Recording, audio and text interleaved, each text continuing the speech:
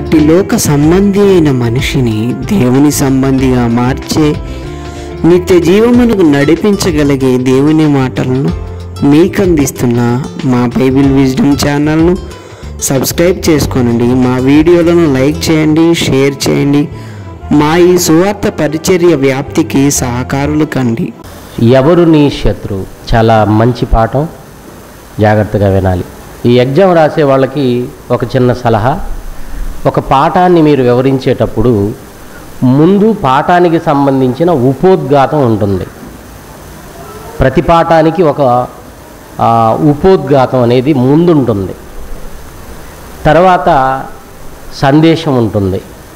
తరువాత ముగింపు మాటలు ఉంటాయి ముగింపు. ప్రారంభంలో ప్రారంభంలో ఉపోద్ఘాతం ఉంటుంది. తర్వాత సందేశం ఉంటుంది. ఆ పాఠాన్ని ముగించేటప్పుడు ముగింపు మాటలు ఉంటాయి మీరు ఎక్కడైనా పాఠం చెప్పేటప్పుడు కూడా ఉపోద్ఘాతం చెప్పాలి పాఠం చెప్పాలి ముగింపు కూడా చెప్పాలి. ఉదాహరణకు ఒక విశ్వాసం పాఠం మీరు తీసుకుంటే ఈరోజు లోకంలో విశ్వాసం విషయంలో మనుషులు ఎలా ఉన్నారో? అది ఉపోద్ఘాతంగా చెప్పాలి. ఎన్ని రకాల విశ్వాసాలు ఉన్నాయి ఉపోద్ఘాతంలో ఉంటుంది. తర్వాత అసలు విశ్వాసం అంటే ఏంటో వివరించడం సందేశంలో ఉంటుంది. ముగింపు నీవు విశ్వాసివేనా? నీలో విశ్వాసం ఉందా? నీ విశ్వాసాన్ని నేను నీవు పరీక్షించుకో అని ముగింపు ఉంటుంది. మీరు పాఠం రాసేటప్పుడు ఎగ్జామ్లో ఉపోద్ఘాతం సందేశం ముగింపు మాటలు కూడా ఉంటే ఎక్కువ మార్కులు ఉంటాయి ఎవరు నీ శత్రువు? ఎవరు నీ శత్రువు? ప్రియమైన దేవుని పిల్లలారా లోక సంబంధమైన మనుషుల గురించి మనం ఆలోచిస్తే దేవునికి దూరంగా బ్రతుకుతున్న ఈ లోక సంబంధులు ఒకరిపై ఒకరికి శత్రుత్వం కలిగి బ్రతకడం మనం లోకంలో చూస్తున్నాం. లోక సంబంధుల గురించి ఆలోచించిన ఒక వ్యక్తి అన్నాడు దైవ జ్ఞానం లేక బ్రతుకుతున్న మనుషులకు ప్రతి ఒక్కరికి శత్రువు ఉంటాడు అని చెప్పాడు. ఎందుకంటే లోకంలో బ్రతుకుతున్న వాళ్ళ మనసులో వాళ్ళ ఆలోచనలు వేరు వాళ్ళ మనస్తత్వం వేరు. శాస్త్రాలలో ఒక శాస్త్రం పుట్టుకొచ్చింది మానవ మనస్తత్వ శాస్త్రం. మానవ మనసులో ఉన్నటువంటి దానిని బట్టి ఆ శాస్త్రాన్ని వ్రాశారు. శరీరంలో ఉన్న దానిని బట్టి మనసులో పుడుతున్న కోరికలను బట్టి. వాళ్ళు ఏమన్నారంటే సాధారణంగా లోక సంబంధులలో ప్రతి ఒక్కరికి శత్రువులు ఉంటారట. దేవుని కోసం బ్రతకడం ఎలాగో తెలియదు వాళ్ళకి. కనుక ఒకరిపై ఒకరు శత్రుత్వం పెంచుకొని బ్రతుకుతున్నారు. ఏ శత్రువు లేకపోతే అతన్ని ఏమంటారో తెలుసా? అజాత శత్రువు అంటారు. శత్రువులు లేని వానిని శత్రువు లేని వానిని అజాత శత్రువు అంటారు ప్రియులార. శత్రువులు లేని వారు ప్రపంచంలో ఎవరైనా ఉన్నారంటే ఉండాలి. ప్రతి క్రైస్తవుడికి మనుషులు శత్రువులుగా ఉండకూడదండి. అసలు క్రైస్తవుడికి మనుషుల్లో ఎవరు శత్రువులు కాదు. లోకస్తులను అడగండి. వాళ్ళు ఏమంటారంటే మా ఇంట్లో ఉన్నోళ్ళే మాకు శత్రువులండి. ఎక్కడ దాకో వెళ్ళాల్సిన అవసరం లేదు అంటున్నారు. ఒక భార్యని నీకు శత్రువులుగా శత్రువులు ఉన్నారా అంటే నా భర్తే నాకు పెద్ద భయంకరమైన బద్ధ శత్రువు అంటుంది. భర్తను అడిగితే నీకు శత్రువులు ఉన్నారా అంటే అంటే లోక సంబంధుల విషయం చెప్తున్నాను. నా భార్య నాకు శత్రువు అయిపోయింది అంటాడు. పిల్లలను అడిగితే మా అమ్మా నాన్నలు మా తల్లిదండ్రులే మాకు శత్రువులు అంటారు. తల్లిదండ్రులను అడిగితే మా పిల్లలే మాకు శత్రువులు అయిపోయారండి మమ్మల్ని సరిగా చూసుకోవడం లేదంటారు. ఇంకొంతమంది మా బంధువులు మాకు శత్రువులు అయిపోయారు అంటున్నారు ఇంకొంతమందిని అడిగితే మా ఇంటి పక్క వాళ్ళే మాకు శత్రువులు అంటారు ఎందుకంటే ఇంటి ప్రక్క వాళ్ళతో తిన్నగా ఉండరు కదా గొడవలు. మా ఇంటి ప్రక్కనున్న వాళ్ళే మాకు శత్రువులండి అంటారు. రాజకీయ నాయకులను అడిగామనుకోండి ఏమండి మనకు శత్రువులు ఎవరైనా ఉన్నారా? మీకు శత్రువులు ఎవరైనా ఉన్నారంటే ప్రతిపక్షంలో ఉన్న ప్రతి ఒక్కడు మాకు శత్రువే అంటున్నారు వాళ్ళు. ప్రతిపక్షంలో ఉన్న వాళ్ళంతా మాకు శత్రువులు. దేశ రాజకీయాల్లో ఉన్న వాళ్ళని మనం అడిగామనుకోండి వాళ్ళు ఏమంటారు తెలుసా? మనకు పాకిస్తాన్ బద్ధ శత్రువు అంటారు. ఇవి లోకంలో ఉన్న మాటలు లోకంలో ఉన్నవారు మాట్లాడే మాటలు. క్రైస్తవుడు ఇలాంటి మాటలు మాట్లాడకూడదు. నా భార్య నాకు శత్రువు అండి నా భర్తే నాకు శత్రువు అండి పిల్లలు నాకు శత్రువులండి నా బంధువులండి మా సంఘంలో ఉన్న వాళ్ళేనండి నా ఇంటి పక్కన వాళ్ళేనండి ఈ మాటలు ఒక క్రైస్తవుడుగా నీవు మాట్లాడకూడదు. క్రైస్తవుడుగా మాట్లాడకూడదు. లోకంలో ఉన్నవాళ్ళు మాట్లాడే మాటలు. మహాకవి శ్రీశ్రీ గారు ఒక మాట చెప్పారు. తన కోపమే తనకు శత్రువు అన్నాడు ఆయన. అంటే మనిషికి శత్రువులను తయారు చేస్తున్నది ఏంటంటే తనలో ఉన్న కోపం. కోపం వలన మనిషి అనేక మందికి శత్రువు అయిపోతున్నాడు. అంతేకాదు తన కోపము తనకే ఒక్కోసారి శత్రువైపోయి తన ప్రాణం మీదికి తీసుకొస్తుంది. కనుక తన కోపమే తన శత్రువు అన్నాడు. ఈ మాటల్లో ఎంతవరకు నిజముంది? ఆలోచించండి ప్రియమైన దేవుని పిల్లలారా. అసలు క్రైస్తవులమైన మనకు ఎవరు శత్రువు? ఎవరు నీ శత్రువు? ఎవరు మనకు శత్రువులు? పాత నిబంధన గ్రంథాన్ని చదువుతున్నప్పుడు దేవుడు ఏర్పాటు చేసుకున్న ఇస్రాయేలీలకు శత్రువులు ఉన్నారని మనకి బైబిల్ని బట్టి అర్థమవుతుంది. పాత నిబంధనలో ఇస్రాయేలీల చరిత్ర మనం చదువుతాం కదండి. ఇస్రాయేలీలకు యూదులైన వారికి శత్రువులు ఉన్నట్టుగా పరిశుద్ధ గ్రంథంలో మనం చూస్తాం. ఒకసారి దేవుడు అబ్రహాము గారితో ఏం చెప్పారో చూడండి ప్రియులారా. ఆది కాండము ఇరవై రెండవ అధ్యాయము పదిహేడవ వచనం. ఆది కాండం ఇరవై రెండవ అధ్యాయం పదిహేడవ వచనాన్ని మనము చూడగలిగితే అబ్రహాము గారితో దేవుడు మాట్లాడుతూ అబ్రహామా నేను నిన్ను ఆశీర్వదించి ఆకాశ నక్షత్రముల వలెను సముద్ర తీరమందలి ఇసుక వలెను నీ సంతానమును నిశ్చయముగా విస్తరింపచేసెదను. నీ సంతతి వారు తమ శత్రువుల గవినిని స్వాధీనపరుచుకుంటారన్నాడండి. నీ సంతానం నీ సంతానాన్ని నేను ఎలా చేస్తానంటే అబ్రహామా నీవు నా మాట విన్నావు నేను చూపించు దేశానికి వచ్చావు నా కొరకు కష్టపడ్డావు నా మాట అంటే నీకు చాలా గౌరవం. నా మాటలకు లోబడి నీవు బ్రతుకుతున్నావు గనక నేను నీకు ఒక మాట చెప్తున్నాను. భవిష్యత్తులో ఏం జరగబోతుందంటే నీవు ఒక దేశాన్ని స్వతంత్రించుకుంటావు. నీ సంతానం ఒక దేశాన్ని స్వతంత్రించుకుంటుంది. ఎవరిదటది? నీ సంతతి వారు తమ శత్రువుల గవిని అంటే తమ శత్రువులు అంటే ఇస్రాయేలీలకు ఎవరు ఉండబోతున్నారు శత్రువులు. ముందే చెప్తున్నాడు. ఏమండి? ఈ ఆదికాండము ఇరవై రెండో అధ్యాయంలో దేవుడు భవిష్యత్తును చెప్తున్నాడు నీ సంతానము వారు తమ శత్రువుల గవినిని స్వాధీనపరుచుకుంటారు. అంటే ఇస్రాయేలీలే కదండి. అబ్రహాము సంతానం ఎవరు? ఇస్రాయేలీలు. ఇస్రాయేలీలు. అబ్రహాము నుండి ఇస్సాకు ఇస్సాకు నుండి యాకోబు యాకోబు సంతానమే ఇస్రయేలీలు. ఇస్రయేలీలకు ఎవరుంటారట? చెప్పండి. శత్రువులు ఉంటారు ఇస్రయేలీలకు ఎవరు? శత్రువులు ఉంటారట వారి శత్రువుల గవినిని వారు స్వాధీనపరుచుకుందురు అన్నాడు. అలాగే వాళ్ళు వెళ్ళి శత్రువుల గవినిని స్వాధీనపరుచుకున్నారు ప్రియమైన దేవుని పిల్లలారా.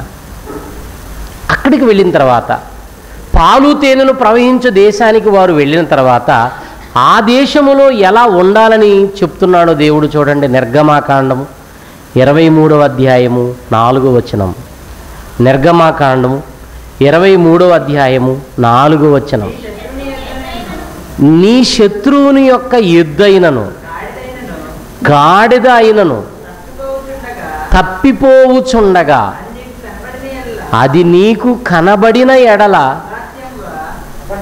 అగత్యముగా దానిని తోలుకొని వచ్చి వానికి అప్పగించాలి. ఏమంటున్నారండి ఇక్కడ?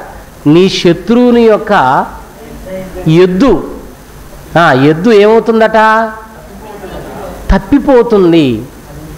అది నీకు కనబడింది. తన ఇంటి దగ్గర నుండి ఏమంటే పొలంలో నుండి కొన్ని పశువులు అలా వెళ్ళిపోతుంటాయి తప్పిపోయి మార్గం తప్పి వెళుతుంటాయి.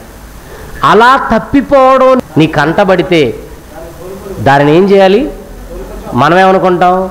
ఎవరినైనా శత్రువులుగా భావించామనుకోండి. పోవాలి వాడిది అంతే పోవాలి. వాడి యుద్ధం నేనెందుకు తోలుకు రావాలి? వాడు నష్టపోవాలి. వాడికి నష్టం జరగాలి. వాడికి కష్టాలు రావాలని కోరుకుంటామండి మనం. అంటే మనం శత్రువులుగా ఎవరినైనా భావిస్తే మనం అలా ఉంటాం. కానీ మనం ఎవరిని శత్రువుగా భావించకూడదు. కానీ ఇస్రాయేలీలకు శత్రువులు ఉన్నారట ఇస్రయేలీల శత్రువులకు వాళ్ళ విషయంలో వీళ్ళు ఎలా ఉండాలంటే ఎవరిదైనా ఎద్దు తప్పిపోతుంటే దాన్ని తోలుకొచ్చి అప్పగించాలట. చూసారా అంటే ఇస్రాయేలీలకు ఎవరున్నారండి? శత్రువులు ఉన్నారు యహోశవ గ్రంథం. యహోశవ గ్రంథం పదో అధ్యాయము పన్నెండో వచనాన్ని మీరు చూడగలిగితే అక్కడ ఒక మాట వ్రాయబడిందండి. యహోశివ గ్రంథం పదో అధ్యాయం పన్నెండో వచనం. యహోవా ఇస్రాయేలీల ఎదుట అమోరీలను అప్పగించిన దినమున ఇస్రయేలీలు వినుచుండగా యహోశివ యహోవాకు ప్రార్థన చేశాను సూర్యుడా ఏమని ప్రార్థన చేశాడు? సూర్యుడా నీవు గిబియోనులో నిలువుము చంద్రుడా నీవు అయ్యాలోను లోయలో నిలవాలి. అంటే దేవునికి ప్రార్థించి సూర్యునితో చంద్రునితో మాట్లాడుతున్నాడు. సూర్యుడా నీవు గిబియోనులో నిలవాలి. చంద్రుడా నీవు అయ్యాలోను లోయలో నిలవాలి. జనులు ఈ మాట చూడండి. జనులు తమ శత్రువుల మీద పగ తీర్చుకొని వరకు సూర్యుడు నిలిచెను చంద్రుడు ఆగెను. ఈ మాటల్లో మనకేమర్థమవుతుంది ఇస్రయేలీలైన దేవుని పిల్లలకు ఒకనాడు శత్రువులు ఉన్నారు ఇస్రయేలీలకు శత్రువులు ఉన్నారా అంటే వాళ్ళకు ఉన్నారు. జనులు అంటే ఇస్రయేలీలు తమ శత్రువుల మీద పగ తీర్చుకొని వరకు సూర్యుడు నిలిచెను చంద్రుడు ఆగను. ఇస్రాయేలీలకు ఎవరు శత్రువులు అంటే ఇస్రాయేలీలను వ్యతిరేకించే ప్రతి ఒక్కడు ఇస్రాయేలుకు శత్రువే. ఇస్రయేలీలను వ్యతిరేకించే వాళ్ళంతా దేవునిని వ్యతిరేకించే వాళ్ళంతా దేవుని పిల్లలను ఇబ్బంది పెట్టే వాళ్ళంతా ఆ రోజు ఇస్రయేలీలకు ఎవరండి వాళ్ళు? శత్రువులండి. శత్రువులుగానే చూశారు వాళ్ళు. దావీదు గారు కూడా కీర్తన గ్రంథంలో ఆయన మాట్లాడుతూ ఇరవై మూడవ కీర్తన ఐదో వచనంలో ఇరవై మూడవ కీర్తన ఐదో వచనంలో ఆయన అంటున్నాడు నా శత్రువుల ఎదుట నీవు నాకు భోజనమును సిద్ధపరచుదు అన్నాడండి. శత్రువులు చుట్టుముట్టి ఆయన ప్రాణాన్ని తీసే ప్రయత్నం చేస్తున్న వేళ శత్రువులు చుట్టుముట్టి ఉండగా నా శత్రువుల ఎదుట నీవు నాకు భోజనము సిద్ధపరచుదు అని దేవుని ఔన్నత్యాన్ని గురించి మాట్లాడుతున్నాడు దావీదు గారు. అంటే ఈ మాటలు మనం ఆది కాండం నుండి మనం ఈ మాటలన్నీ గమనించుకుంటూ వస్తే పాత నిబంధనలో ఉన్న దేవుడు ఏర్పాటు చేసుకున్న ఇస్రాయేలీలకు శత్రువులు ఉన్నారు. దావీదు గారికి శత్రువులు ఎవరంటే అదిగో దావీదు మీద వ్యతిరేకంగా తిరుగుబడిన వాళ్ళంతా దావీదు గారికి శత్రువులే. నా శత్రువుల ఎదుట నీవు నాకు భోజనము సిద్ధపరుచుచున్నావు. నేను ఎందుకు ఈ మాటలు చెప్తున్నానంటే ఇస్రాయేలీలు దేవుని పిల్లలు వాళ్ళకి శత్రువులు ఉన్నారు. మరి క్రైస్తవులుగా మనకెవరైనా శత్రువులు ఉన్నారా? ఎవరు నీ శత్రువు? ఏమండి? నేను ఒక మాట చెప్తాను. మనం యేసుక్రీస్తును ధరించుకున్నాం. యేసుక్రీస్తును ధరించుకున్న మనం ఆలోచించాలి మనకెవరైనా శత్రువులు ఉన్నారా ఏమండి మిమ్మల్ని ఒక ప్రశ్న అడుగుతాను. మనం ఎవరినైతే ధరించామో ఆయనకు ఎవరైనా శత్రువులు ఉన్నారా మనుషులను ఎవరిని కూడా ఆయన శత్రువుగా చూడలేదు. ఎవ్వరిని కూడా శత్రువుగా చూడలేదు. మనం ధరించిన యేసుక్రీస్తు వారు. కానీ ఆయనకు కొంతమంది శత్రువులు ఉన్నారంట అంటే వాళ్ళు మనుషులు కాదా? కాదు. అపోస్తుల కార్యములు. ఎవరు యేసుక్రీస్తుకు శత్రువులు? ఎవరు యేసుక్రీస్తుకు ఎవరు శత్రువులో? వాళ్ళే మనకు కూడా శత్రువులు. అంతే కదండి? క్రీస్తుకు ఎవరైతే శత్రువులో క్రీస్తును ధరించుకున్న మనకు వాళ్ళే శత్రువులు. ఎవరు యేసుక్రీస్తుకు శత్రువులు? అక్కడ యేసుక్రీస్తు శత్రువుల గురించి రాయబడిన మాట మీరు చూడగలిగితే పేతురు గారి ప్రసంగంలో ఉన్న మాటలండి ఇవి. అపోస్తుల కార్యాలు రెండవ అధ్యాయం. అపోస్తుల కార్యముల గ్రంథం రెండవ అధ్యాయము. ముప్పై నాలుగో వచనము నుండి చూడండి ప్రియులారా. ముప్పై నాలుగో వచనము నుండి. దావీదు పరలోకమునకు ఎక్కిపోలేదు. అయితే అతడు ఇట్లనెను.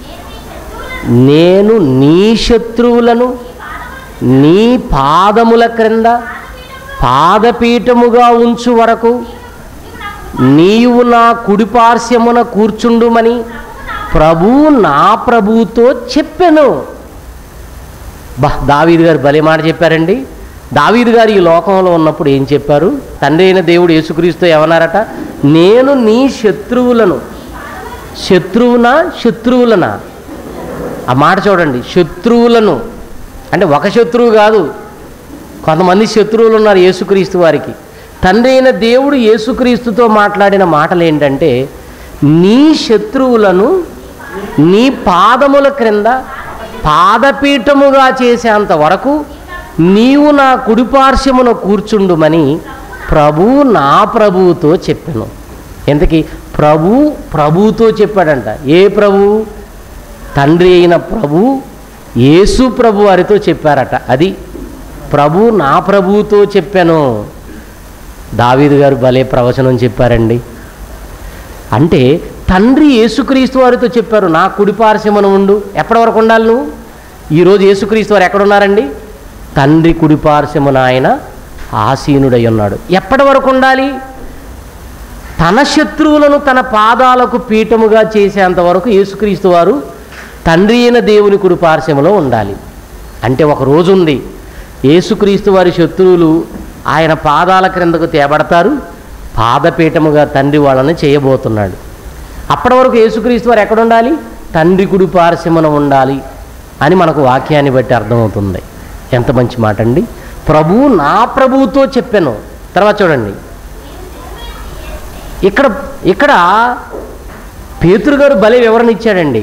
మీరు సిలువ వేసిన ఈ యేసునే దేవుడు అంటే ప్రభు నా ప్రభుతో చెప్పిననగానే ఎవరు సందేహంలో పడతారు మళ్ళా ఇది యేసుక్రీస్తుని గురించిన మాట కాదని అనుకుంటారని ఎంత క్లారిటీ ఇచ్చాడండి.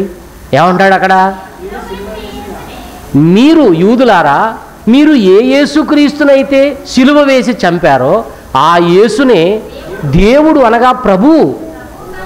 ప్రభు యేసుక్రీస్తును ప్రభువుగాను. తండ్రి అయిన ప్రభు యేసుక్రీస్తును ప్రభువుగాను క్రీస్తుగాను నియమించను. ఎంతగా ప్రభువు నా ప్రభువుతో చెప్పినంటే ఎవరి ప్రభువులు? తండ్రి అయిన దేవుడు యేసుక్రీస్తుతో చెప్పాడు. అసలు ఇక్కడ మాట్లాడటానికి కూడా అవకాశం లేదు అది కాదండి అనడానికి. అవును మనకు కౌంటర్ వేయడానికి కుదరదు ఇక్కడ. యేసుక్రీస్తు వారితో చెప్పాడట. చూసారా యేసుక్రీస్తునే తండ్రి అయిన దేవుడు ఎలా నియమించాడు? ప్రభువుగాను క్రీస్తుగాను నియమించాడు. ప్రియమైన దేవుని పిల్లలారా అంటే యేసుక్రీస్తు వారికి శత్రువులు ఉన్నారా? ఉన్నారు. వాళ్ళని తండ్రి అయిన దేవుడు ఆయన పాదాలకు పీఠముగా చేయబోతున్నాడు.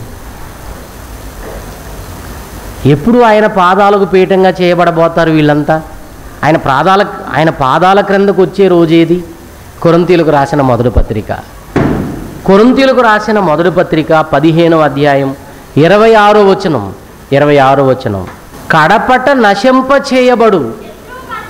శత్రువు యొక్క మరణం ఉందట. అంటే యేసుక్రీస్తు వారు వచ్చిన రోజు. ఈ ఈ కొరింతి మొదటి పత్రిక పదిహేనో అధ్యాయంలో యేసుక్రీస్తు వారు మరలా వచ్చినప్పుడు ఏం జరుగుతుందో? మృతులు మరలా తిరిగి లేవడం. ఇంకా ఆ రోజు ఎలాంటి కార్యక్రమాలు జరగబోతున్నాయో ఈ కొరింతి మొదటి పత్రిక పదిహేనో అధ్యాయంలో ఉంది ప్రియులారా. ఆ రోజు ఏం జరగబోతుందంటే మృతులు లేపబడమే కాదు. మృతులు ఎలాగు లేతురు? ముప్పై ఐదు వచనంలో ఉంటుంది అక్కడ. మృతులు ఎలాగు లేతురు? వారెట్టి శరీరముతో ఒత్తురని ఒకడు అడుగునని ప్రారంభించాడు. అంటే యేసుక్రీస్తు వారు వచ్చిన రోజు ఏం జరుగుతుంది? మృతులు లేపబడతారు. ఇంకా ఆ రోజు జరిగేది ఏంటంటే శత్రువును పాదపీఠముగా చేయబోతున్నాడు దేవుడు యేసుక్రీస్తు పాదాల క్రింద. అక్కడ చదువు నాన్న తర్వాత వచ్చిన కడపట నశింప చేయబడు శత్రువు మరణము. అంటే క్రీస్తు రాకడతో ఏం జరుగుతుందంటే శత్రువు మరణం. ఆ శత్రువు ఎవరండి? వాడే సాతాను. ఆ శత్రువు ఎవరు? సాతానండి. కడపట ఆయన వచ్చిన తర్వాత వాడికి నాశనం ఉంది. కడపట నశింప చేయబడు శత్రువు మరణం అంటే అదే. ఇక వాడికి ముగింపు పలకబోతున్నాడు. వాడికి నాశనం అనేది వించ- విధించబోతున్నాడు యేసుక్రీస్తు వారు. ఈ లోకానికి వచ్చి. ఆ తర్వాత ఏముంది? దేవుడు సమస్తమును క్రీస్తు పాదముల క్రింద లోబరిచి ఉంచెను. సమస్తమును లోబరచబడి ఉన్నదని చెప్పినప్పుడు సమస్తము ఆ రోజు ఏమైపోవాలి? లోబడాలి. సాతాను లోబడాలి. సాతాను యొక్క అనుచరులు ఉన్నారండి. పరలోకం నుండి ఒక్కడే పడ్డాడా? ఇంకా కొంతమంది దేవదూతలు పడ్డారా? పడద్రోయబడినప్పుడు. పరలోకంలో పాపం చేశాడు కదండి దేవదూతగా. అపవాది. వాడితో పాటు వాడికి సహకరించిన వాళ్ళందరూ పడిపోయారు. ఈ దేవదూతలు అనగా అపవిత్రాత్మలు. బైబిల్లో మనం చదువుతుంటాం అపవిత్రాత్మలు. ఈ అపవిత్రాత్మలు ఈ సాతాను వీరంతా ఎవరంటే యేసుక్రీస్తుకు శత్రువులు. మనుషులు కాదండి యేసుక్రీస్తుకు శత్రువులు. సాతాను సాతాను అనుచరులైన అపవిత్రాత్మలు. వీరందరినీ కూడా దేవుడు యేసుక్రీస్తు వారు వచ్చినప్పుడు ఆయన పాదాల క్రింద ఆయనకు పీటగా చేస్తాడట. పాదముల క్రింద పీఠముగా పాదపీఠముగా చేస్తాడట. అంటే అందరినీ కూడా ఆయన పాదాల క్రింద పెట్టేసుకుంటాడు అంతే అందరూ. మరి ఇప్పుడు వాడు చలామణి అవుతుంటాడు. దేవుని ప్రజల మధ్యకు వెళ్ళడం వాళ్ళందరినీ దేవునికి కాకుండా చేయటం. యేసుక్రీస్తు వస్తే ఇక వాడి ఆటలు సాగవు. ప్రియమైన దేవుని పిల్లలారా ఇంతగా మనకు ఒక విషయం అర్థమవుతుంది. యేసుక్రీస్తు వస్తే సాతానుకు నాశనం. అదే తెస్సలోనిలకు రాసిన రెండవ పత్రిక రెండవ అధ్యాయం ఎనిమిదో వచనంలో చెప్తున్నాడు పౌలు గారు. తెస్సలోనిలకు రాసిన రెండవ పత్రిక రెండవ అధ్యాయం ఎనిమిదో వచనం. ఎనిమిదో వచనం. అప్పుడు యేసుక్రీస్తు వారు ఈ లోకానికి వచ్చినప్పుడు ధర్మ విరోధి ధర్మ విరోధి అంటే ఎవరు? సాతాను. అపవాది. ధర్మ విరోధి బయలుపరచబడును ప్రభువైన యేసు తన నోటి ఊపిరి చేత వానిని ఏం చేస్తాడట ఆ రోజు? ఆయన వచ్చిన రోజు ఏం చేస్తాడు? వానిని సంహరించి తన ఆగమన ప్రకాశము చేత వానిని నాశనం. అందుకే శత్రువు మరణం అన్నాడు అక్కడ కొరింతి పత్రికలో. యేసుక్రీస్తు రాకతో మరి శత్రువు మరణం ఏమండి జరుగుతుంది ప్రియులారా? అంతేకాదు అపవిత్రాత్మలందరికీ ముగింపు పలకబోతున్నాడు. సాతాను సాతానుతో ఉన్నటువంటి వాని అనుచరులైన అపవిత్రాత్మలు వాళ్ళే యేసుక్రీస్తు వారికి శత్రువులు. ఆయన రాకతో వాళ్ళకు నాశనం విధించబోతున్నాడు. ఆలోచించండి. ఇప్పుడు యేసుక్రీస్తుకు ఎవరైతే శత్రువులో ఏమండి మనకు కూడా వాళ్ళే శత్రువులు. అంటే సాతాను అపవిత్రాత్మలు. దయ్యపు ఆత్మలు ఉన్నాయి చూసారా? వీళ్ళంతా ఎవరంటే మనకు శత్రువులు ప్రియమైన దేవుని పిల్లలారా. పేతురు మొదటి పత్రిక ఐదు ఎనిమిదిలో క్రైస్తవునికి విరోధి ఎవరో క్రైస్తవులకు శత్రువు ఎవరో పేతురు గారు చెప్తున్నారు. నిబ్బరమైన బుద్ధి గలవారై మెలకువగా ఉండుడి మీ విరోధి. చూడండి మీ విరోధి. విరోధి అంటే మీ శత్రువు.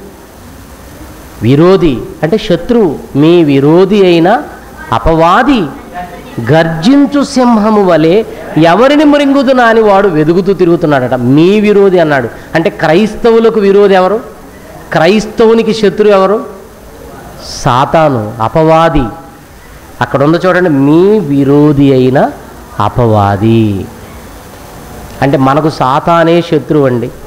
ఎందుకు సాతాను మనకు శత్రువు అయ్యాడు సాతాను యొక్క అనుచరులైన అపవిత్రాత్మలు కూడా మనకు శత్రువులే. ఎందుకు వాళ్ళు మనకు శత్రువులంటే వాళ్ళు ఒకటి అడిగారంట దేవుణ్ణి ఏమని? మాకు పరలోకం ఇస్తావా? అని అడిగితే మీకు నేను పరలోకం ఇవ్వనన్నాడండి. హెబ్రి పత్రిక రెండవ అధ్యాయము ఐదో వచనం. హెబ్రి పత్రిక రెండవ అధ్యాయము ఐదో వచనం. మనము మాట్లాడుతున్న ఆ రాబోవు లోకమును దూతలకు అన్నాడా? దూతకన్నాడా? ఎవరండి ఆ దూతలు? వాళ్ళే అపవిత్రాత్మలుగా మారినవారు. ఒకప్పుడు దూతలు వాళ్ళు. వాళ్ళు అడిగారంట మాకు పరలోకం ఇస్తారా? అంటే నేనివ్వను. మరి ఎవరికి ఇస్తావు? నా పిల్లలు భూమి మీదకు రాబోతున్నారు. వాళ్ళు నా కోసం బ్రతుకుతారు. నేను చెప్పినట్టుగా బ్రతుకుతారు. వాళ్ళకి ఇస్తా నేను. మీకు ఇవ్వను అన్నాడు. ఆ రోజు నుండి వాళ్ళు మన మీద శత్రువులు అయ్యారండి నా మాకు దక్కని ఆ లోకం దేవుని పిల్లలకి ఎలా దక్కుతుందో మేం చూసుకుంటాం. అని ఆ రోజు నుండి ఈ రోజు వరకు అంటే భూమి పుట్టినది మొదలుకొని ఆదాము భూమి మీదకి వచ్చింది మొదలుకొని ఇప్పటి వరకు దేవుని పిల్లలైన వారి వెంట పడుతూ ఈ అపవిత్రాత్మలు చేసే పని ఏంటంటే దేవునికి కాకుండా చేయటం. అందుకే వాళ్ళు మనకి శత్రువులు. మనకు పరలోకం రాకుండా చేసేవాళ్ళు వాళ్ళు. మనకు విరోధులు.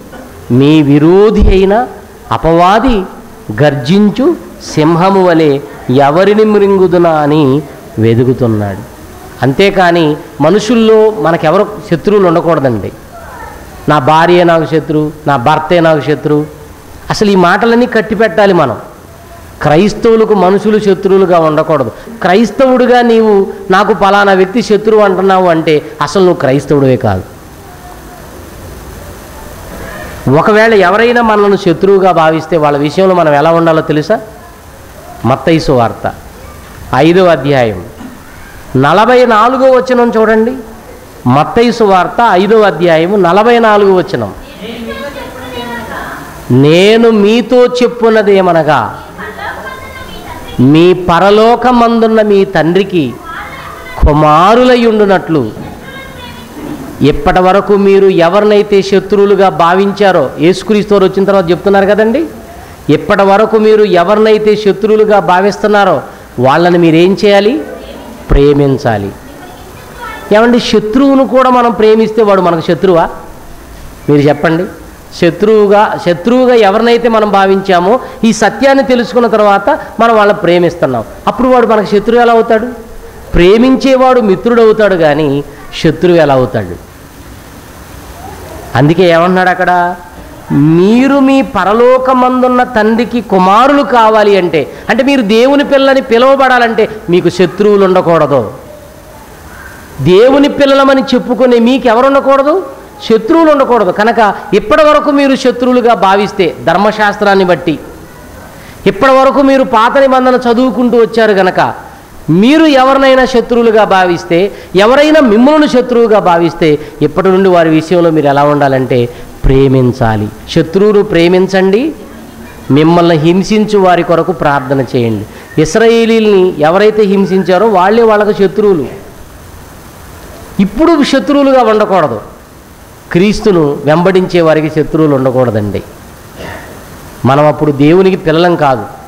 మీ పరలోకమందున్న తండ్రికి మీరు ఏమవ్వాలి కుమారులు అవ్వాలంటే మీకు శత్రువులు ఉండకూడదు. ఇప్పటి వరకు ఒకవేళ ఎవరినైనా శత్రువుగా భావిస్తే వాళ్ళని ప్రేమించడం నేర్చుకోండి. వాళ్ళ కోసం ప్రార్థించండి. ఏమని ప్రార్థించాలి? దేవా నీవు దీవించు వాళ్ళని ఆశీర్వదించు. వాళ్ళు ఏం చేస్తున్నారో వాళ్ళకి? తెలియదు. యేసుక్రీస్తును కొడుతుంటే ఆయన ఏమన్నాడండి? వీరేమి చేయుచున్నారో వీరు ఎరుగురు గనక వీరిని క్షమించు. అంతేగాని వాడి కుటుంబం ఎప్పుడు కూలిపోద్ది ప్రవ్వా వాడి దీపం వాడి ఆత్మదీపం ఎప్పుడు ఆరిపోద్ది ప్రభువ? వాడు ఎప్పుడు మంచాన పడతాడు ప్రభువ? వాడి కాళ్ళు చేతులు ఎప్పుడు ఇరిగిపోతాయి ప్రభువ? వాడి పాడెప్పుడు మోసుకెళ్తారు ప్రభువ?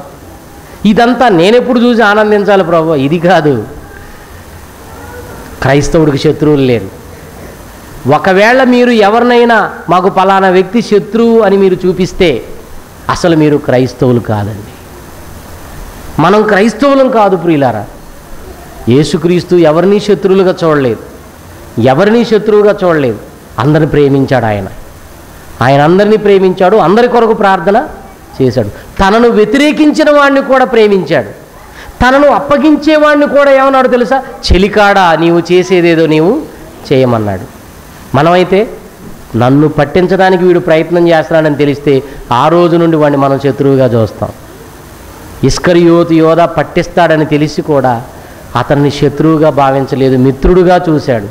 చెలికాడా నువ్వు చేసేదేదో చేయమన్నాడు. ఎవరు నీ శత్రువు ప్రశ్నించుకుందాం ఇప్పుడు. ఎవరండి మన శత్రువు ఈ లోకంలో మానవులు ఎవరు మనకు శత్రువులు కాదు. మనకు సాతాను విరోధి. సాతానే మనకు శత్రువు. ఇంకా చెప్పాలంటే మన శరీరమే మనకు శత్రువు. మన శరీరమే మనకు శత్రువు అండి. ప్రియమైన దేవుని వారు ఆలోచించండి. మన శరీరం మనకు శత్రువా? తన కోపమే తనకు శత్రువు అన్నాడు శ్రీశ్రీ గారు.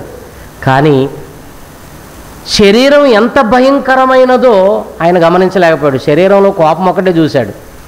అంటే కోపం వల్ల మనిషి మరొకరిని హతమార్చడం ఎవరినో తిట్టడం వాళ్ళను దూరం చేసుకోవడం ఇది జరుగుతుంది కనుక తన కోపమే తనకు శత్రువు అన్నాడు ఆయన.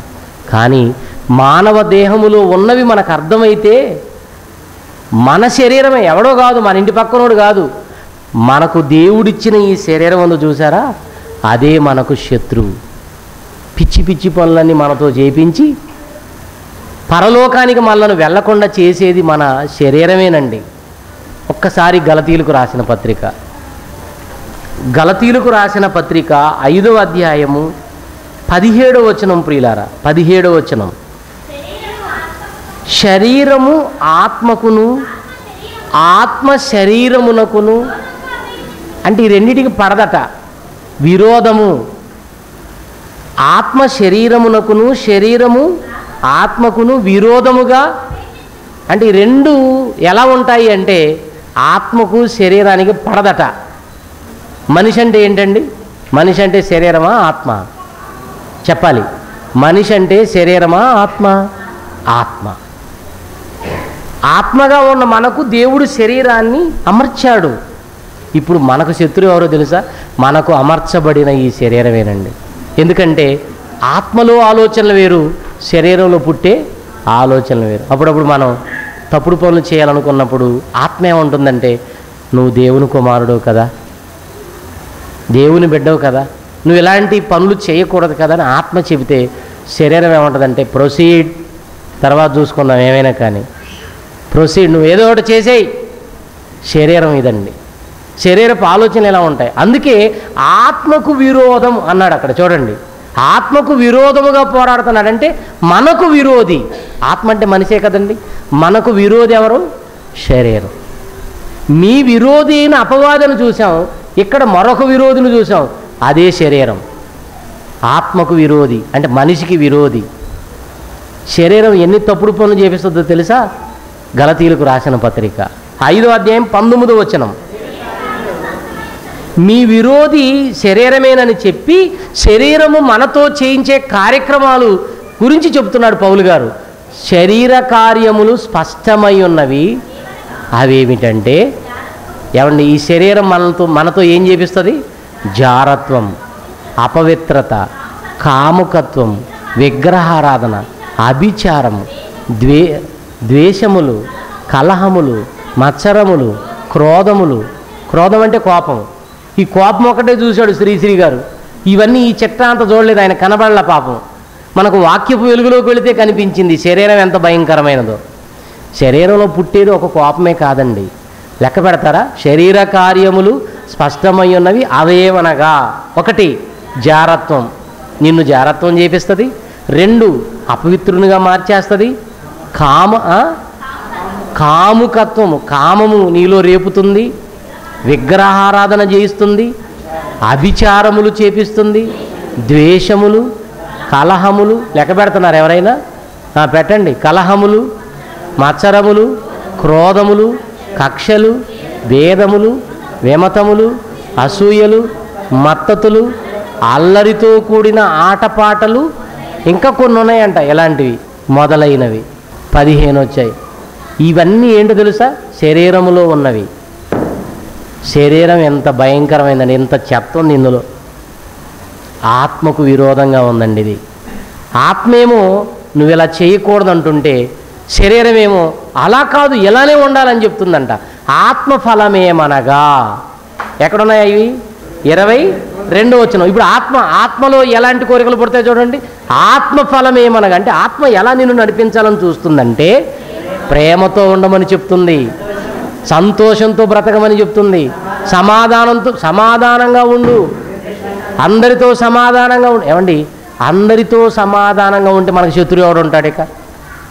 ఇప్పుడు బా బైబిల్ ఏమో తెలుసా? శక్యమైతే అందరితో సమాధానముగా ఉండండి. ఇప్పుడు సమాధానంతో మనం ఎవరితోనైనా సమాధానం కలిగి ఉంటే వాళ్ళని చూపించి ఇతనే నా శత్రువు అంటావా?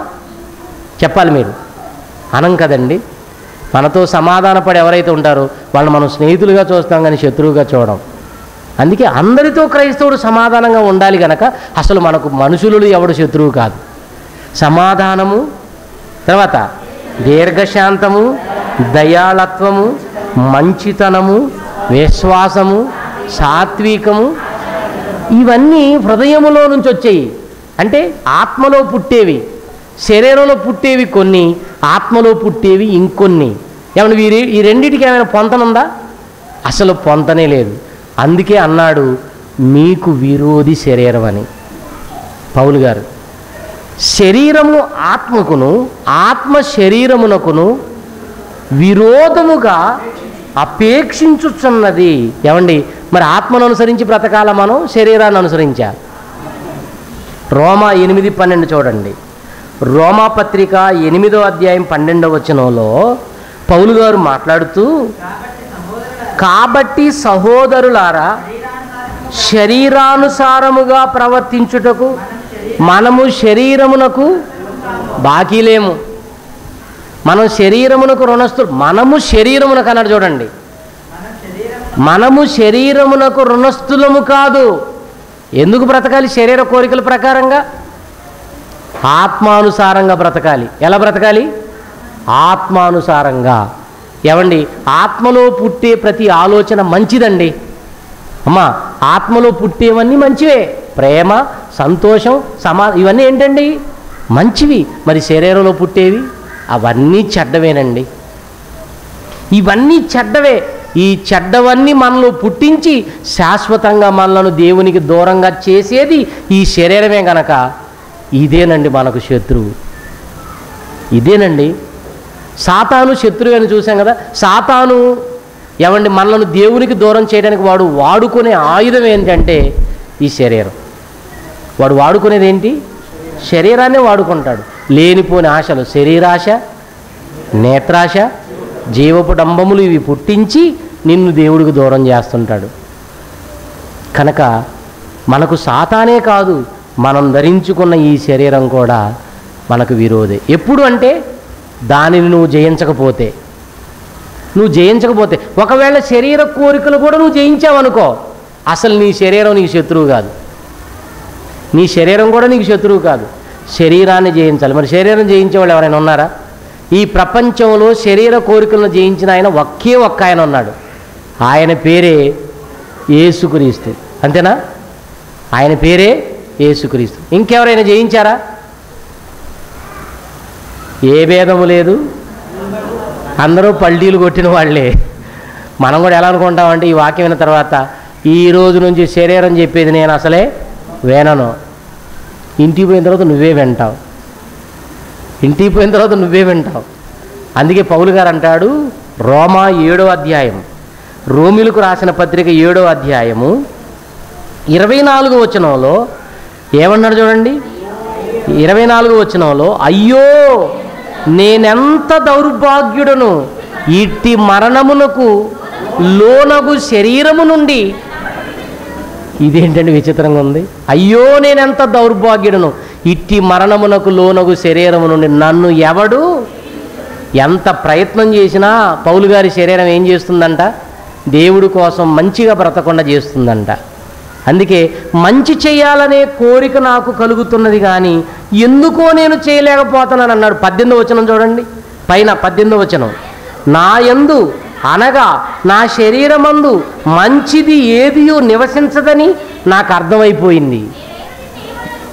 మంచి చేయాలనుకుంటున్నాను. కోరికలు ఎలా పడుతున్నాయంటే ఆత్మలో మేలైనదే చేయాలనుకుంటున్నాను కానీ దాన్ని చేయుటకు నాకు అసలు చేతకాకపో చేతగానులాగా అయిపోతున్నాను.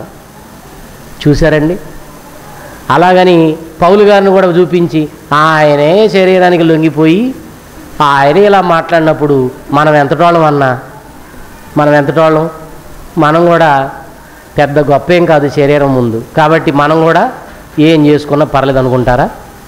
పౌలు గారండి శరీరాన్ని ఎలా జయించాలో ఆయన ఆలోచించాడు. కష్టమేనండి ఈ శరీరాన్ని జయించటం. ప్రపంచాన్ని జయించిన వాళ్ళు ఉన్నారు చరిత్రలో మనం చూస్తే ప్రపంచాన్ని జయించిన చక్రవర్తులు ఉన్నారు కానీ వాళ్ళు శరీరాన్ని జయించలేకపోయారు. ప్రపంచాన్ని జయించారు కానీ శరీరాన్ని జయించలేకపోయారు. కానీ శరీరాన్ని జయించే ఒక సూత్రం పౌలు గారు కనుగొన్నాడు. ఏంటంటే శరీరమును నలగగొట్టాలంట. ఏం కొట్టాలి? నలగగొడితే తప్ప అది మనకు లోపడదట కొరంతీలకు రాసిన మొదటి పత్రిక తొమ్మిది ఇరవై ఏడులో తొమ్మిది ఇరవై ఏడులో ఆయన అంటాడు గాలిని కొట్టినట్లు నేను పోట్లాడుట లేదు కానీ ఒకవేళ ఇంతమందికి వాక్యం ప్రకటించిన నేను నేనే భ్రష్టుడనైపోతానేమోనని నా శరీరమును నేను నలుగగొట్టి దానిని నేనేం చేస్తున్నాను? అయిపోయింది. లోబడదని తెలుసుకొని ఎలా లోబరుచుకోవాలో కూడా నేను ఆలోచించాను. లోబడటం లేదని బాధపడ్డాను. ఎలా లోబరుచుకోవాలో తెలుసుకున్నాను. ఏం చేస్తే శరీరం లోబడుతుంది చెప్పండి. అమ్మా ఏం చేస్తే శరీరం మన శరీరం మనకు లోబడుతుంది? దానిని నలగగొట్టాలి. ఏం చేయాలి? నలగగొట్టాలి. నలగొట్టడం అంటే ఒక రాయి మీద పడుకొని ఇంకో రాయి తీసుకొని గుల్ల గుల్లగా కొట్టేసుకోవడమా? కాదు. దేవుని పనిలో శరీరం ఏమవ్వాలి? నలిగిపోవాలి. మనం సువార్తకు వెళుతుంటాం కదండి. రాత్రి వచ్చేసరికి పన్నెండు పన్నెండున్నర అవుతుంటుంది. ఈ పన్నెండున్నర అయిన తర్వాత మన ఆలోచన ఎలా ఉంటుంది? కింద బజార్లో ఏం జరుగుతుంది? పై బజార్లో ఏం జరిగింది? ఇవన్నీ ఉంటాయా మనకి? వెంటనే పడుకోవాలా. నిజంగా దేవుని పనిలో ఈ శరీరాన్ని మనం నలగగొడితే పాపం గురించి మనం పాపం చేయాలన్న ఆలోచనలు మనకు రావు ప్రియులారా. అంత సమయం ఉండదు మనకి. అందుకే మనం దేవుని పని మన పని. రెండు పనులు ఉండాలి మనకి. మనం మన కుటుంబాన్ని పోషించుకునే పని రెండవది దేవుని పని. నువ్వు ఎప్పుడైతే దేవుని పని మానుకొని శుభ్రంగా పులు స్టాప్ పెట్టి నీ సొంత పనిలో నిమగ్నమై రెస్ట్ తీసుకుంటున్నావో చిన్న చిన్నగా చిన్న చిన్నగా ఒక్కొక్కటి దేవుల్లో నుంచి నువ్వు వెళ్ళిపోయి శాశ్వతంగా పరలోకానికి దూరం అయిపోయే అవకాశం ఉంది. అందుకే మన పనులతో పాటు మనకు దేవుని పని కూడా ఉండాలి. నేను మిమ్మల్ని ప్రేమించి చెప్తున్నాను. మీ శరీరాన్ని సుఖపెట్టడానికి ప్రయత్నం చేశారా? దానిని జయించడం మీ వల్ల అయ్యే పని కాదు. మీ శరీరాన్ని దేవుని పనిలో కూడా నలగొట్టండి. మీ పనిలో పగలంతా తిరగండి. రాత్రి కానీ కాస్తంత సమయం దేవుడికి ఇవ్వండి. మీరు చాలా చక్కగా ఉంటారు దేవునిలో. ఏమండి? మనం దేవుని పనులు తిరిగినప్పుడు ఎలా ఉన్నాం? తిరగకుండా మానేసినప్పుడు ఎట్లున్నామో? ఒక్కసారి ఇంటికి వెళ్ళిన తర్వాత మనలను మనం పరిశీలించుకుంటేనే మనకు అర్థమైపోద్ది టోటల్గా. కనుక శరీరం ఏమైపోవాలి? నలిగిపోవాలి. లేదా ఇది నీకు శత్రువై నీకు శత్రువై చేయకూడని పనులు నీతో చేయించి శాశ్వతంగా కన్న తండ్రికే నిన్ను దూరం చేస్తుంది. అందుకే అన్నాడు అయ్యో నేనెంత దౌర్భాగ్యుడును? ఇట్టి మరణమునకు లోనకు శరీరము నుండి నన్ను ఎవడు విడిపించును? లోకంలో పడిపోయే వాళ్ళంతా ఎక్కువగా ఈ శరీరాశలకేనండి. శరీరాశ నేత్రాశ జీవోపడంబం కనక ప్రియులారా శరీరాన్ని మనం జయించాలి. ఒకవేళ మనం శరీరాన్ని జయించకుండా లోకాన్ని ఇష్టపడుతుంటే మనము దేవునికి కూడా శత్రువులం అవుతాం. తెలుసా? యాకోబు పత్రిక. ముగిస్తాను. యాకోబు పత్రిక నాలుగో అధ్యాయము నాలుగో వచనాన్ని చూడండి. యాకోబు పత్రిక నాలుగో అధ్యాయము నాలుగో వచనం. వ్యభిచారిణులారా ఈ లోక స్నేహము ఈ లోక స్నేహం. ఏమన్నాడండి అక్కడ? ఈ లోక స్నేహం. లోక స్నేహము దేవునితో వైరమని మీరెరగరా? కాబట్టి ఎవడు ఈ లోకముతో స్నేహము చేయగోరునో వాడు దేవునికి కూడా శత్రువే. తెలుసా? ఏమవుతామండి? సాతానుకే సాతానే కాదు మనకు శత్రువు. నువ్వు సాతానును జయించకపోతే నీ శరీరాన్ని నలగగొట్టుకొని శరీరాన్ని జయించకపోతే నువ్వెవరికి శత్రువుగా మారతావు? దేవునికి కూడా నువ్వు శత్రువే తెలుసా? ఈ లోక స్నేహము దేవునితో వైరమని మీకు తెలీదా సంగమా? మీకు తెలీదా? లోక స్నేహం అంటే ఏంటండి? లోక స్నేహం అంటే ఏంటండి? లోక స్నేహం లోకములో ఉన్నదంతయు శరీరాశ నేత్రాశ జీవపుటమ్ము కనుక వీటిలో మనం కొనసాగుతున్నాము అంటే ఆశలలో జీవిస్తున్నాము అంటే లోకాశల్లో మనం లోకంతో స్నేహం చేసినట్టే. అప్పుడు దేవునితో మనకేమవుతుందంట? వైరం. వైరం అంటే గొడవ కొట్లాట. మనం శరీరాశలు నెరవేర్చుకుంటూ బ్రతుకుతుంటే దేవుడు అంటాడు అక్కడే నాకు కుదరదు. నీకు నాకు పడంది అక్కడే. దేవునితో వైరమని మీరు ఎరగరా? కాబట్టి ఎవడు సంఘములో సంఘానికే కదండి? సంఘానికే కదా ఈ పత్రిక? సంగమా ఎవడైతే మీలో ఈ లోకంతో స్నేహం చేయాలని చూస్తాడో లోకస్తులతో స్నేహం లోకంతో స్నేహం. ఏమండి? లోకస్తులతో స్నేహం చేస్తే వాళ్ళు మనల్ని ఎక్కడ తీసుకెళ్తారు? లోక సంబంధమైన కార్యక్రమాలకి తీసుకెళ్తారు. అదే దేవుని బిడ్డలతో స్నేహం చేస్తే నిన్ను దేవుల్లో నిలబెడతారు వాళ్ళు. అందుకే లోకానికి దూరంగా దేవునికి దగ్గరగా మనం ఉండాలి. ఒకవేళ అలా నేను ఉండనని నువ్వు అనుకుంటే ఏమండి సాతానే కాదు నీకు శత్రువు. నీకు దేవుడు కూడా ఏమైపోతాడు? చెప్పండి నీకు దేవుడు ఏమైపోతాడు? శత్రువు. ఎవడు ఈ లోకముతో స్నేహము చేయగోరునో వాడు దేవునికి శత్రువు. లోకంలో ఉన్న వాడితో స్నేహం స్నేహభావంతో ఎప్పుడు ఉండాలంటే ఆ వ్యక్తిని దేవుల్లో తేవడానికి నువ్వు అతనితో కలిసి ఉండు. అంతేగాని అతను అతను చేసే కార్యక్రమాల్లో నువ్వు వెళ్ళడానికి నువ్వు అతనితో కలిసి ఉండడానికి వీల్లేదు. అర్థమవుతుందా? ఒక వ్యక్తిని దేవుళ్ళకు తేవడానికి లోకంలో ఉన్న వ్యక్తి దగ్గరికి మనం వెళ్ళాలి. అతనితో కలిసి ఉండాలి. ఎందుకంటే నీ ఆలోచన వేరు. కానీ వాళ్ళు చేసే కార్యక్రమాల్లో మనం మునిగిపోతామన్న తర్వాత వాళ్ళతో మనం స్నేహం చేశామంటే చివరకు నువ్వు దేవుడికే శత్రువు అయిపోతావు. ఏమంటే దేవునికి శత్రువు అయి బ్రతగలమా మనం? దేవునికి శత్రువు అయి మనం బ్రతగలమా కనుక ప్రియులారా ఎవరు నీ శత్రువు ఎవరు నీ శత్రువు నీ శరీరం నీకు శత్రువు ఒకవేళ నువ్వు శరీరాన్ని జయిస్తే శరీరం కూడా నీకు శత్రువు కాదు. మరి ఎవరు నీ శత్రువు సాతాను నీ శత్రువు క్రైస్తవుడికి శత్రువు ఎవరు? సాతానే. క్రైస్తవుడు దేవుడి కోసం బ్రతకకపోతే దేవుడు కూడా శత్రువే.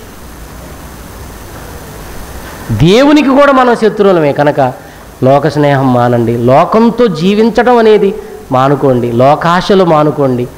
ఎప్పుడు కూడా దేవుని ఆలోచనలు దేవుని తలంపులు దేవుని వాక్యం దేవుని కార్యక్రమాలు ఇలా మనం బ్రతికితే చాలా బాగుంటాం. పరలోకానికి వెళ్ళిపోతాం.